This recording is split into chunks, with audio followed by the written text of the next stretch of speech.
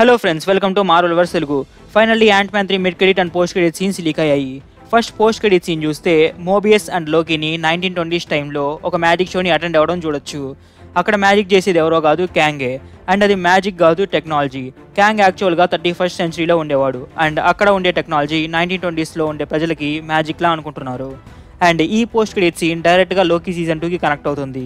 నాకు తెలిసి Ant Man three movie release అయిన తర్వాత ఒక టెన్ డేస్కి లోకి సీజన్ టూ ట్రైలర్ని ఎక్స్పెక్ట్ చేయొచ్చు.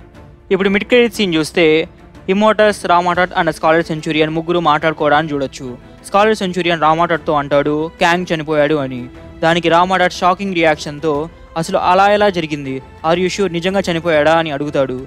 దానికి స్కాలర్ సెంచురియన్ అది నిజం కాకుంటే నేను ఇక్కడికి వచ్చేవాడినే కాదు అని అంటాడు.